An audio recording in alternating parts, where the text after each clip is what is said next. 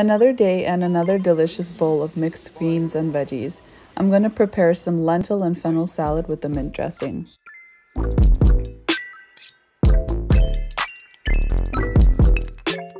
To start off, cook your French lentils. They cook quicker than green or red ones, but if that's all you have, make sure to soak them beforehand.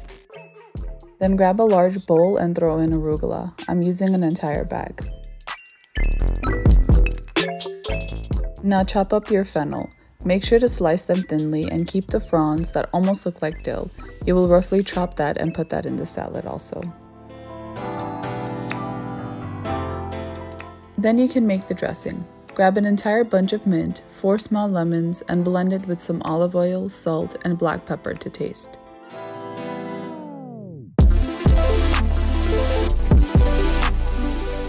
Add the lentils that have been cooked and cooled off. Also, put in some sliced carrots into the salad. Then you're ready to combine the ingredients. Drizzle your dressing over the salad and toss.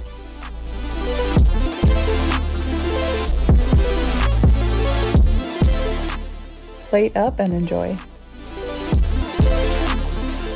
I also topped the salad with some pomegranate seeds for color, but this isn't really necessary.